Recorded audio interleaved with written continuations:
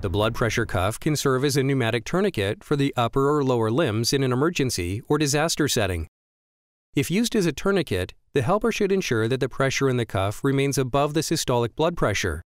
If the bleeding starts again, increase the cuff pressure.